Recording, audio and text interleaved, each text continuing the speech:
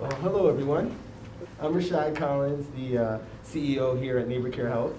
Uh, on behalf of our partners, uh, Meridian Center for Health, uh, Public Health Seattle and King County, and Valley Cities Behavioral Health, welcome you all.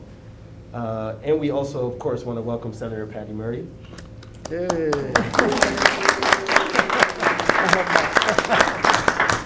Uh, thank you so much for being here today. Uh, as a strong supporter of community health, we are honored to have you as well as other leaders doing much needed work in our community. With that, I will turn it over to right.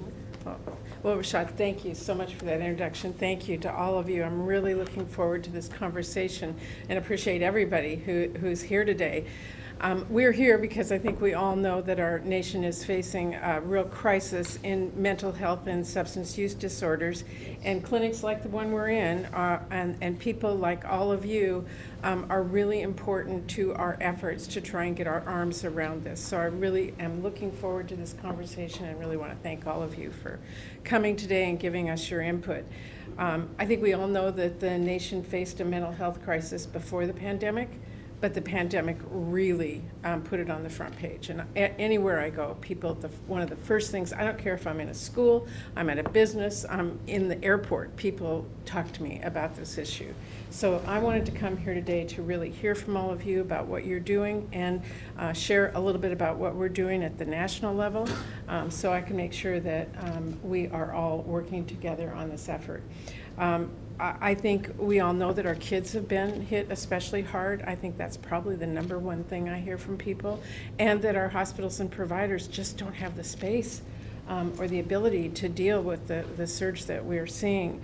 Um, and then, then, of course, we have opioids and fentanyl, and that has really um, increased both the pain and the heartache and all of the challenges that, that we see in every single community. So back in DC, I have been really focused on this. Uh, last year, as chair of the HELP Committee, I worked in a, uh, on a bipartisan bill to really address a number of the issues that we're facing here and to do what we can to support our communities. Uh, and we put that with our spending bill. So the final bill we passed in December included both additional resources and some changes in policy and support for a number of the programs that uh, we, were- yeah, I know all of you rely on. Um, and I was especially um, happy to see that we strengthened the 911, I mean, sorry, the 988, I'll say that, uh, Lifeline, um, which I have been told has gotten over 2 million calls and texts already just since, since it's been introduced. So we know it's making a difference. And of course, working to uh, increase treatment for um, uh, disorder treatments and strengthen our healthcare workforce, which I hear from everyone. Um, a lot of support for a number of the programs that we have increased support. And as everyone here knows, um, working in my capacity on appropriations to make sure we, I provide specific resources uh, through the congressionally directed spending. And I'm delighted that we got funding for several projects that have been really key here that many of you have been working with me on. So it's a br- very broad um, look at everything, but I wanted to specifically come here today as we head back into session next week. Um, As you know, I'll be chairing the Appropriations Committee, so I've got my ear on the ground for what all of you want me to really focus on in that bill. And uh, I think it's, so it's, I think it's really timely um, that I come, listen to what is happening in, for each of you, and uh, make sure I'm working closely with you. So again, thank you, thank you to everyone for being here, and I'm really looking forward to hearing from what, um, from all of you. And Rod, we'll start with you, and thanks, thanks for your great work on this. Thank you so much, Senator. Uh, Really appreciate the invitation to join today and the opportunity to share with you some uh, kind of words from the front lines, if you will. Uh, Although I know that you're yeah, hearing them when being on the ground. Uh, My name is Rod Dembowski. I serve on the Metropolitan King County Council representing North Seattle, uh, including Senator Murray's old stomping grounds, uh, Bothell, uh, where her folks ran a five and dime store like my dad did down in Yeah. Kent, where she spent time as a kid. Uh, And also Shoreline uh, is in my district. And uh, it's just great to have you here, uh, Senator Murray, uh, particularly at our Northgate uh, Clinic, where we partner with Neighbor Care. Upstairs, we have our Women, Infants, and Children, our WIC uh, program, uh, where we deliver nutrition services, and uh, we'll even size you for a car seat uh, and all that. Uh, We're joined by uh, the leader or manager of the program, Cal Peck. Cal, raise your hand, she's here. We had a great visit uh, earlier uh, and got to hear a little bit about what's going on there. Well, it's a true honor to join you today, and thank you, uh, Senator, for bringing together these exceptional leaders to talk about behavioral health issues across our region. But I want to start with some thank yous to you first. Uh, You mentioned the pandemic uh, and your leadership, particularly from the appropriations seat in the Senate, um, has just been instrumental in getting King County through the pandemic. The federal government sent King County during the course of the pandemic about $1.6 billion, $1.6 billion across several bills. And we used that money first to respond to the pandemic from a public health perspective. We prioritized it. Second, to house people, then to feed people, and then a major investment in behavioral health because of the struggles there, and then economic recovery, and then investing in our criminal legal system and reforms there because that had a significant impact. Without that aid, uh, it would have been a disaster, more than it even was, Senator, and we could not have done it without the federal government's help. Just a few highlights from some of those priorities. We invested $11 million in Just Care. We're going to hear more about that uh, novel and creative and successful program um, in terms of getting folks who are really struggling on the streets the care they need on an individualized basis. Um, we put $4 million into apprenticeship pathways in the behavioral health space. You mentioned worker training and the needs to address the challenges of that workforce, the folks who are on the front line. We wanted to, to develop some apprenticeship work there. We did that with some of the dollars you sent us. Uh, we also put $4 million to address social isolation and loneliness, focusing on young people and seniors, folks who are most vulnerable, we felt, in the space there for being isolated uh, and away from folks because of our responses. So thank you, Senator, for that tremendous investment. Uh, The dollars you sent to us, we put it to good use, and we think it mitigated uh, the impacts. I want to talk about kind of two issues in the conversation we're highlighting today. Uh, The first is suicide prevention. You mentioned the 988 line, and we are standing up that here in the state. I know you care a great deal about that issue, and it's clear to any parent, myself included as a parent across our country, uh, that the pandemic exacerbated our existing mental health crisis. I was reading uh, some data here in the last couple of days that really in the last 10 years, even before the pandemic, the, the challenges in youth mental health have doubled in terms of visits to hospitals and need for care. And that started before the pandemic, but it was exacerbated because of the isolation Right. uh, that you mentioned and that you're hearing about. I rode along with the Shoreline Fire Department when we were doing some of the early vaccinations, and the chief there described firsthand the increases in suicides and in drug overdoses, largely related to just the, just the depression, sadness, loneliness, and isolation uh, in our young people. And so you are right to focus on that, and you're right when you're hearing folks, it's not just anecdotal. The statistics back it up, and we appreciate your significant leadership on the appropriations subcommittees to make more federal investments there. And we could use more. Uh, At the county, um, we work in partnership, as you know, with the federal and state government. In fact, the plaque out here in the building uh, has the four lead sponsors, uh, and that is the state, uh, the county, uh, the city of Seattle, and the federal Department of Health and Human Services. And I think that is an appropriate thing to keep in mind, that we work in get- together in partnership. Uh, The county has some local funds in mental health, our MIDD fund, Mental Illness and Drug Dependency, Drug Dependency Fund, it's a tenth of a penny sales tax. I think we spend about $80 million a year out of that. I ran an amendment, uh, which was backed by the county council last year, to put $5 million of emergency surge funding into youth mental health to help address this challenge locally. It's, it's a big amount of money, but it's also a small drop in the bucket compared to the need, and so we could use more help there. Uh, The second issue beyond the- the suicide issue uh, is crisis care. Um, When someone is identified or comes forward with a behavioral health crisis, options are very limited, very limited as to where they can go. King County has one short-term behavioral crisis facility, one, for a county of 2.3 million people. It's voluntary with only 46 beds, and it requires a referral from a hospital or first responder. Not only is 46 beds insufficient for a county this size, you can't simply walk in if you're in crisis, so we've got the barriers there. As you can imagine, the result of that is a crisis at our emergency rooms, the main front door for care. Um, And it's filling our hospitals, and folks are not able to get the best care and the care they need uh, in that setting.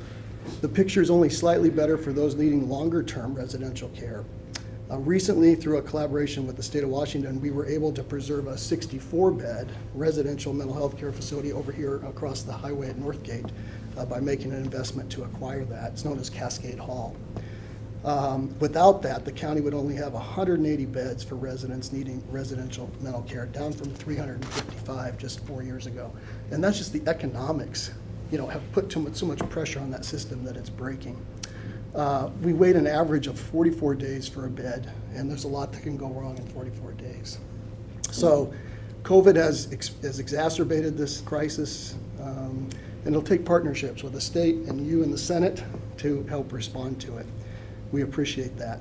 Three specific asks, uh, Senator. First, as you're listening here, uh, since 1965, there's been a rule called the 16-bed IMD cap. I know you're an expert on it, you hear a lot about it.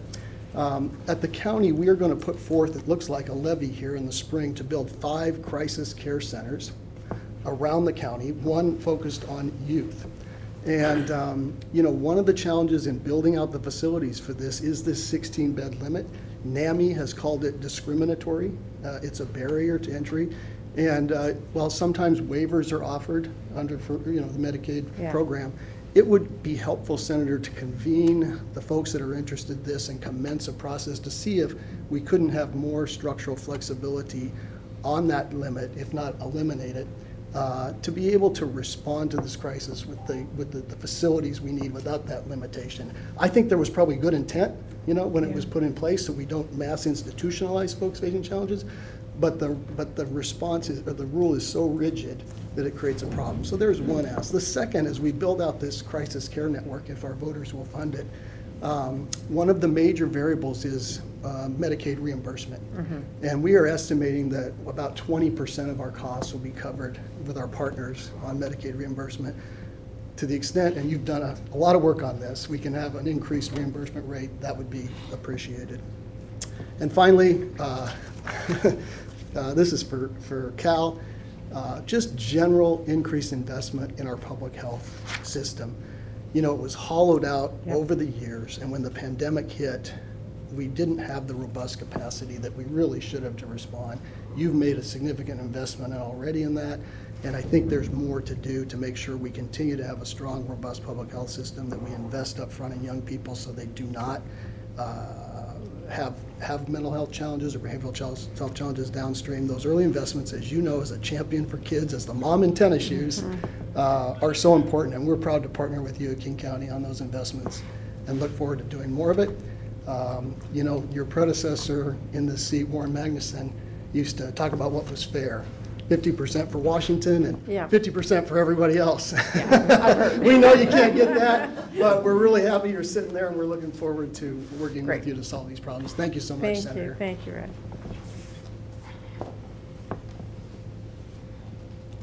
Sorry, just-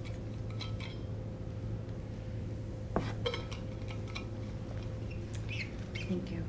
Um, I'm Dr. Sin Katarski. I am the medical director at the Public Defender Association. And in, thank you.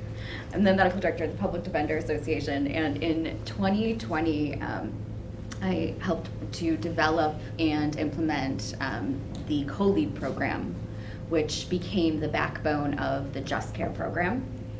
Um, and right now, currently, I am also serving as the interim co-lead director.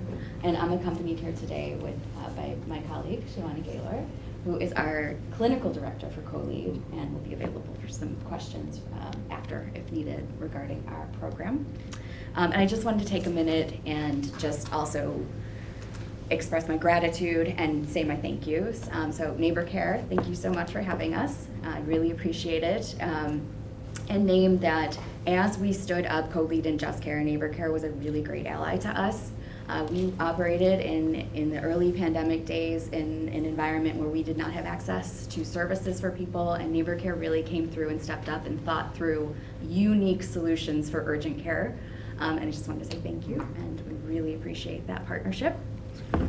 Um, and Councilmember Dembowski, I just also really wanted to express my gratitude to you, um, specifically when it came to um, the way that you championed the use of some of the funds from the county's uh, COVID relief in order to address the um, community, in order to, to um, respond to, with a community-led approach to the, the issue that we were seeing with homelessness encampments and some of the behavioral health um, issues that, that, can, that came out of that, people who were living inside them were facing.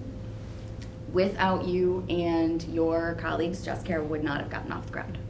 So I really appreciate that and thank you. Thank you. Um, and Senator Murray, um, deepest gratitude for you uh, with regards to um, where we are now. So that was our beginnings, right? and so now here we are. Um, that you know that you have secured funds with the congressionally directed spending uh, for 2023. And last year, we faced an absolute possibility that we would no longer be able to continue and that we might have to close. And so now, thanks to the combined contributions um, from the state of Washington, the King County uh, Regional Homelessness Authority, the City of Seattle, and now you, uh, Senator Murray, we are able to stay open through this year. And so that is really wonderful to be able to provide the services um, that we do. So I just wanted to speak a little bit about Just Care um, and, and who we are and what we do.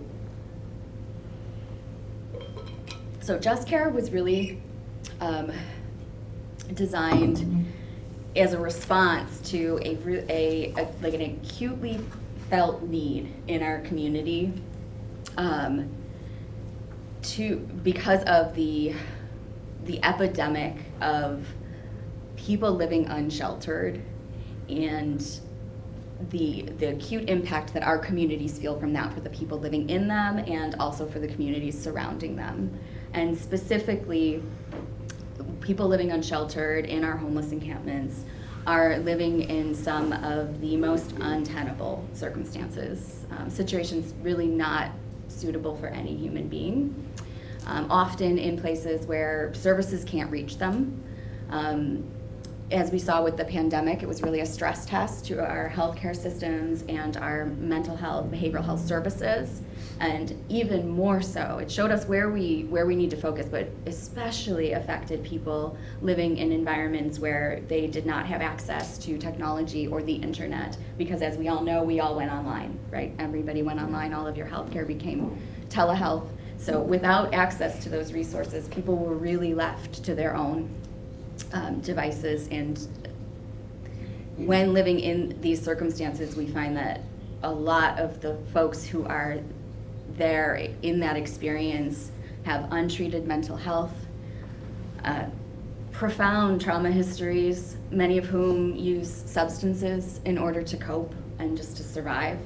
And so we often see um, that as we start to, as Just Care starts to do the outreach and do the work to get to know people, um, you know, we first have to get there and we have to work with them.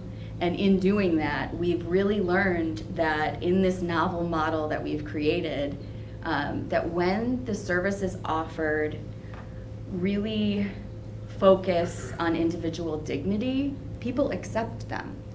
When lodging sites provide privacy and safety, people will come in and we have uh, case managers who provide intensive case management support. They wrap services around folks in order to meet their needs.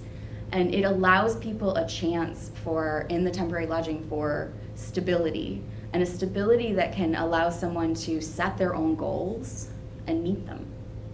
And what we have found is that the majority of our participants have moved into permanent housing. Yeah. Which, yeah, is, awesome. is a, just a phenomenal success. Um, and I could name so many other individual successes, but I know I'm limited here to, to time. Um, so I, yeah, I just wanted to say that um, Just Care, I think, with the fact that we still have this epidemic of um, houselessness occurring and combining that with the opioid epidemic um, and the mental health crisis in our nation, um, Just Care has proven itself to be a really solid um, resource and solution.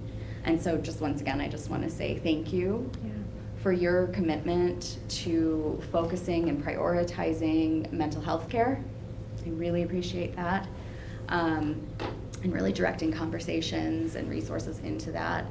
And, um, and allowing us at Just Care to, you know, continue to do our work and continue to, to meet with people and, and, you know, support them.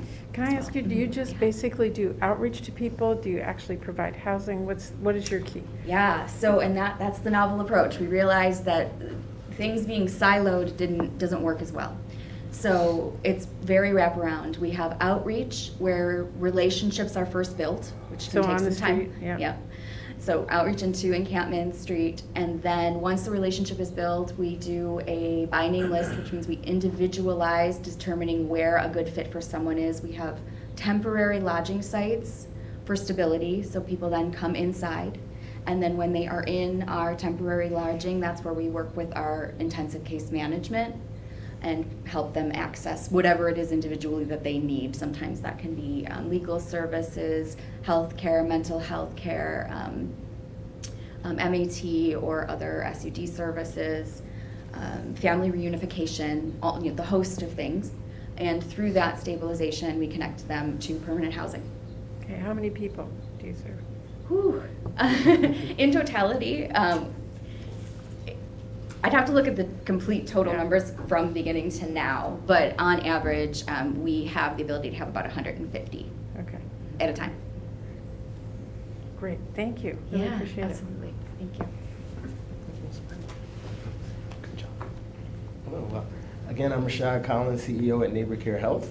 Um, And uh, Neighbor Care is a community health center that's been uh, in existence serving Greater Seattle for more than 50 years, uh, including 14 school-based health centers and multiple homeless programs.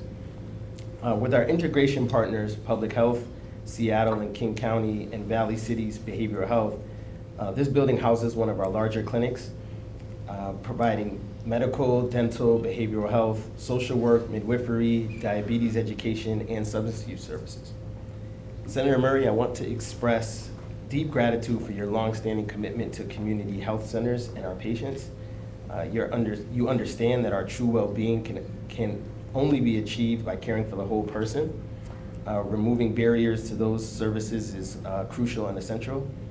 Uh, Again, you've illustrated today uh, with the funding that you've prioritized uh, for school-based health centers, behavioral health, investment in Medicaid, and more. Neighbor Care nurses in our housing and street outreach team also work closely with REACH, as Dr. Kotarski mentioned. Uh, And we believe in the Just Care program and as a human-centered approach, and we are grateful for this program and partnership and all of your support in ensuring funding continues for this program. Uh, We also are celebrating one of the provisions in the omnibus package that will make it easier for medical um, providers to prescribe life-saving medications to help uh, people recover from opioid addiction. Uh, This change will help accelerate our work to increase low-barrier substance use services across our system and our community. Uh, Patients can get this care uh, with their trusted provider in their neighborhood clinics. We also appreciate that you recognize the difficulties community health centers face in staffing our health centers and our healthcare teams, uh, particularly for behavioral health. In our school-based health centers, for example, uh, mental health therapists often have caseloads plus wait lists while they have, uh, while they continue to see an increase in anxiety, disordered eating, suicidal ideation in students. Uh, Often positions remain difficult to fill uh, in school-based and across our primary care clinics. Uh, Your leadership to stabilize funding this year for the loan repayment program uh, will help incentivize uh, providers to bring their skills to underserved communities. In 2023, though, this funding um, for the program is set to expire, which can make filling these roles much more difficult. We know that providing health intervention for people uh, before they enter crisis is, is a way to support healing. To do that, we need to diversify and support our behavioral health workforce with loan repayment programs, reimbursement for wider range of care professionals, and career pathways for people who li- with lived experience from communities of color. Lastly, this is a very critical year for community health centers across the country. Uh, as our mandatory funding, Section 330, which represents 70% of community health centers' base funding, is set to expire in September. it has received bipartisan support over the years, but we never take that, we don't want to take that for granted. Yeah. Uh, We need a strong champion like you, Senator, to ensure that health centers like Neighbor Care continue to provide uh, the necessary care that everyone deserves and needs. Thank you again for being here today and for your tireless advocacy on behalf of families in Washington. Thank you, Rashad. How many people do you serve here? We serve, uh, we serve 60,000 patients for the total Neighbor Care Network, which is 29 sites, 14 school-based, and we have healthcare for the homeless programs as well. Yeah, okay, great, thank you.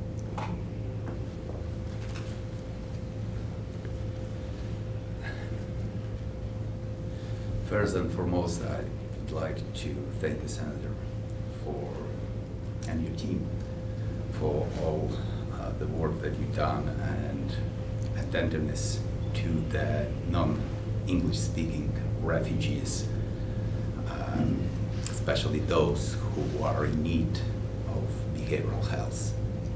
Thank you. Thank you for supporting funds for uh, our Ukrainian center where we could provide in the bigger range services to new arrived refugees. Uh, my name is Oleg Binda. I'm executive director of the Ukrainian Community Center that was founded back in 98 with a goal to help uh, new arrivals, refugees across the board, even though the name is Ukrainian, we've been working with all new arrival groups, helping Somalis, Iraqis recently to establish their center.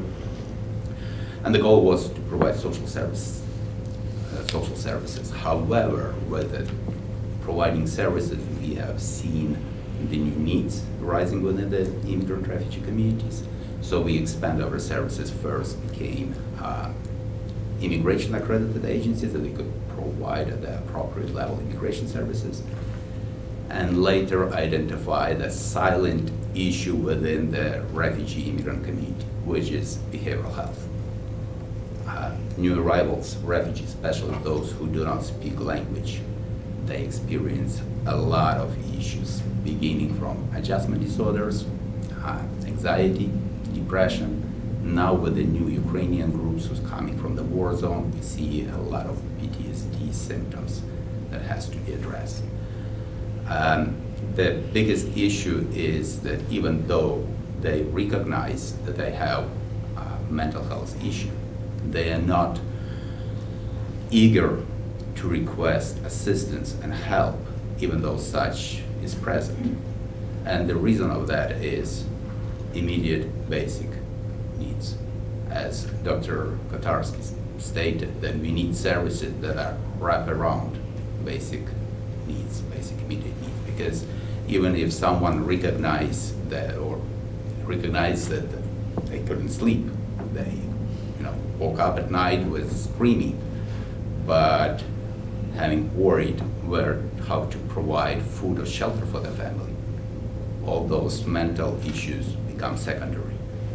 So that's uh, how we provide services in, in uh, our office since we became licensed to provide behavioral health services since 2013.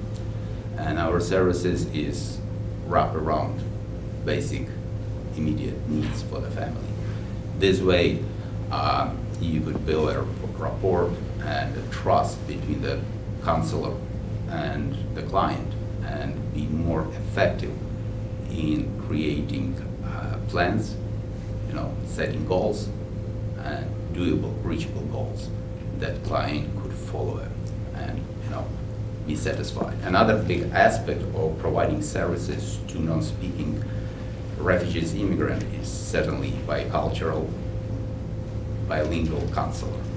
That would open up, you know, uh, uh, channel of communication because there are many providers who are using interpreters, and it's great that we have that ability, but still uh, there is a big trust issue, especially for those who expect, who escape, uh, you know, zones of conflict, war zones. So trust is very, very critical to build in this relationship.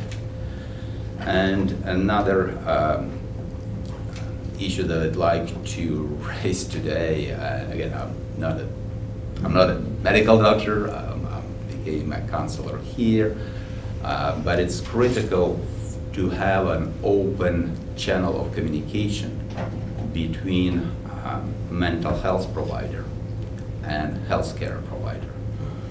Because very often healthcare provider would treat, uh, let's say, high blood pressure without knowing that clients suffer from anxiety, from PTSD, is not going to be effective. You know, blood pressure is going to be jumping up and down, even taking medication. Same for the counselors. If counselor doesn't know diagnosis, uh, physical, physical diagnosis for the client, it's rather difficult to address mental health. So we'd like to have this uh, communication channel to be open, that both medical provider and mental health provider would have access to clients' records, could discuss a treatment plan that would certainly help reaching the goal for well-being, for clients' well-being. So once again, I reiterate, thank you for securing funding for the Ukrainian Community Center because uh, our funding is very limited. Uh, we have some Medicaid funding, uh, some funding from the state refugee program, but it's certainly not enough, especially now considering the huge influx of Ukrainian refugee from the war zone, and which Washington State, I believe, is the fifth largest in the country of resettling new arrived refugees from Ukraine and Seattle King County area is the fourth largest in the nationwide. So, thank you, Senator. So how many people do you serve now compared to like three or four years ago? Well, uh, our caseload uh, went up this year roughly on 300%. Wow. And that's, uh, you know, when we're talking immigration, even more. Uh, mental health is rather difficult, as I stated, because it's not a priority for new arrival right now. But we're seeing a lot of clients in our office who need mental health. And when we offer them in polite, you know, we have to find the right approach. First of all, you have to consider that uh, Ukrainians, um, in their history, uh, they've been abused by mental health system. We're talking about, you know, former Soviet Union. So they don't trust it. You know, so we, you have to find the right approach as we present our program as emotional support, not a mental health. And then wrapping it around the basic needs, you know, it, it open up the, the channel to introduce to mental health, educate about mental health by removing stigma that they have. And, you know, then certainly, you know, success clients that becomes a peer, peers in our program, you know, they bring more clients into the program. And, and need is again tremendous. Uh, one, one example when we received a referral from the school uh, for uh, one teenager when there was a fire drill at the school. Mm. You know, everybody's supposed to leave the premises, and that teenager just disappeared. No, yeah. Been looking for over three hours, and the reason is surely it was associated with a war siren in, in, in her home city. Wow. Things we don't think about. All right. Well, great. Well, uh, this has been awesome. Does anybody want to add anything in particular about what's most important moving forward that we should be focused on? Rod, you gave me some directions. I don't know about direction requests. Requests. The specifics. Yeah. Anybody else? All right. What are your overall goals uh, now chairing this committee instead of the Health Committee, the Veterans Affairs Committee that you have in the past? Uh, Well, I will tell you, on appropriations, you oversee all spending. So, uh, you know, what, what we know in our community here is the same everywhere. Housing, mental health, um, obviously, a number of issues that are, the entire country is facing. This is one of the top issues that um, people talk to me about. And of course, we have Washington State issues like salmon that were, are just there that I will, Hanford, those kind of things that, that I'll be overseeing. But um, I really want to work with local officials here in Washington State to hear what their priorities are. Um, It's going to be a challenge working through appropriations at the federal level with the House and Senate this year, but I am determined and I have good partners, a lot of people talking to me. I'm ready to go, so getting my priorities set now is, is what I'm focused on. You mentioned it's gonna be a challenge, obviously, the Republicans control the House, most of the time tax budget stuff starts there. So how, how difficult do you anticipate these negotiations to be? Well, I expect that we'll make really good progress in the Senate. I've already been working and talking with my Republican counterpart, Susan Collins, on how we can work together. I have a number of members on both sides of the aisle who want us to get down and get to work. I expect that those same people are in the House. Um, They, they understand that the investments we make from the federal level make a huge difference at the local level, just like I do. Um, So you may hear a lot of steam blowing right now, but I'll tell you, when we get down to it and people realize that's funding for their communities, I believe we can get this done. Any comments on the back and forth over the debt ceiling? Oh, th- this is not new.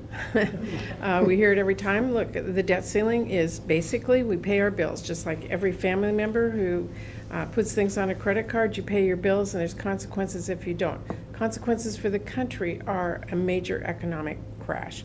No one wants to be responsible for that. Just like every time, we've worked our way through it, and I'm certain we will again this time.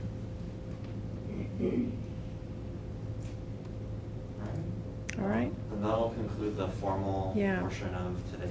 Thank you all very much. Really appreciate it. Look forward to working with all of you.